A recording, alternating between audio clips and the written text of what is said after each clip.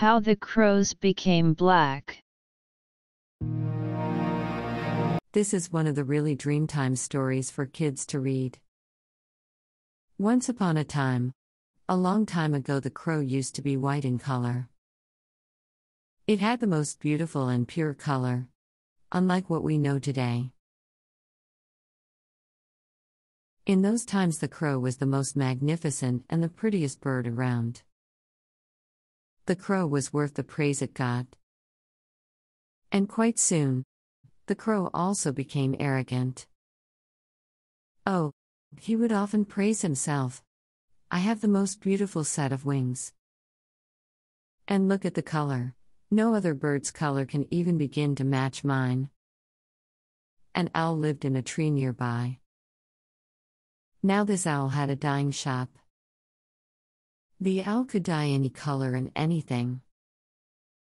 He had dyed articles as well as birds' feathers, so many colors.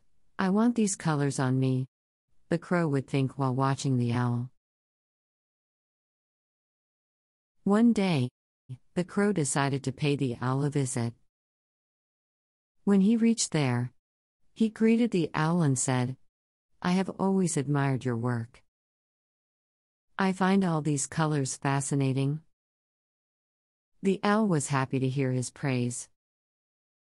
So, he asked. What can I do for you?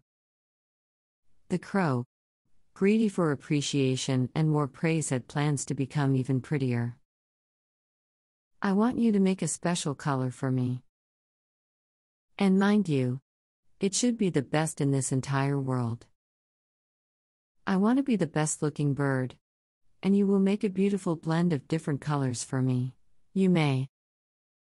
I will give you what you want. The owl agreed.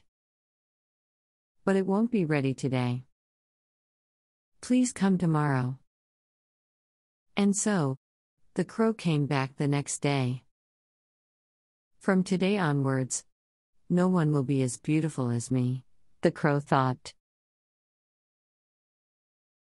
By the time the crow reached there, the color had already been poured into the bucket.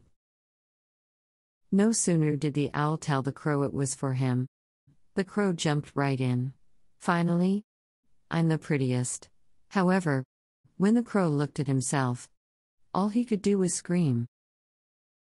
Black? He shouted. Why am I black in color? This was supposed to be pretty.